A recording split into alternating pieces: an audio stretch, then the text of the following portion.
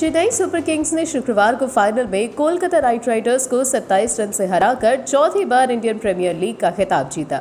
चेन्नई ने पहले बल्लेबाजी के लिए आमंत्रित किए जाने पर फॉफ ड्यूप्लिक्स के छियासी और शीर्ष क्रम के अन्य बल्लेबाजों के उपयोग योगदान से तीन विकेट पर एक सौ बानवे रन बनाए।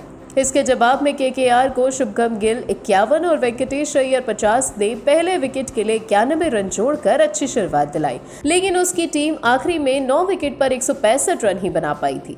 आपको बता दें, जैसे ही सीएसके की टीम ने खिताब जीता तो उस समय धोनी की वाइफ साक्षी दर्शक दीर्घा में जीत का जश्न मना रही थी। इसके थोड़ी देर बाद साक्षी मैदान पर आई और पति धोनी को गले लगा लिया। साक्षी के साथ जीवा भी अपने पापा धोनी को गले से लगकर जीत का जश्न मनाते नज़र आई। इसका एक वीडियो भी सामने आया जो अब सोशल मीडिया पर खूब वायरल हो रहा है। फैंस जमकर इस वीडियो को देख भी रहे हैं और पसंद भी कर रहे हैं।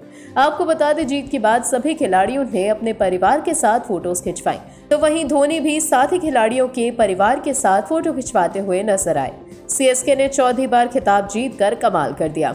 इसके पहले 2018 में सीएसके ने आईपीएल का खिताब जीता था। 2019 के सीज़न में सीएसके फाइनल में पहुंचकर मुंबई इंडियंस से हार गई थी तो वहीं दूसरी ओर 2020 में धोनी की टीम प्लेऑफ में भी पहुँच नहीं पाई थी। ऐसे में सीज़न में टीम ने ज़बरदस्त वापसी की और ऐतिहासिक जीत हासिल कर कमाल कर दिया। फॉफ ड्यूप्लिक्स को मैन ऑफ़ द मैच के खिताब से नवाजा गया। ड्यूप्लेसी ने छियासी रन की पारी खेली थी। इसके अलावा गायकवाड ऑरेंज कैप जीतने में सफल रहे। ऋतुराज इस सीज़न में सबसे ज़्यादा रन बनाने वाले खिलाड़ी रहे। इसके अलावा के की टीम तीसरी बार आईपीएल के फाइनल में पहुँची थी लेकिन टीम के बल्लेबाज कोई भी खास कमाल नहीं कर पाए।